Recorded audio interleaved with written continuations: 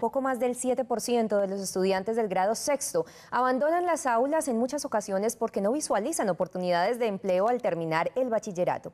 Para bajar los índices de deserción, FENALCO y la Secretaría de Educación firmaron un convenio con base en el cual 1.300 estudiantes pueden cursar una media técnica del sector comercial y empresarial. Según FENALCO, de esta manera se garantizará trabajo cuando terminen el grado 11. La esperanza es que los estudiantes de 11 salgan más preparados para afrontar la vida laboral puedan ver eh, medias técnicas laborales que estén vinculadas a los nodos y a los clústeres de desarrollo que tiene la ciudad.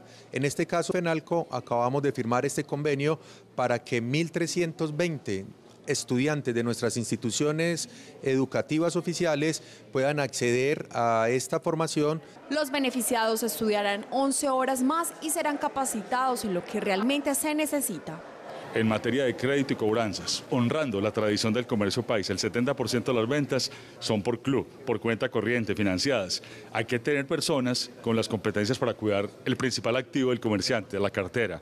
Se espera que los estudiantes encuentren oportunidades laborales en algunas de las más de 700 empresas afiliadas a FENALCO. La prueba piloto tiene una inversión de 675 millones, en la que FENALCO aportó 134.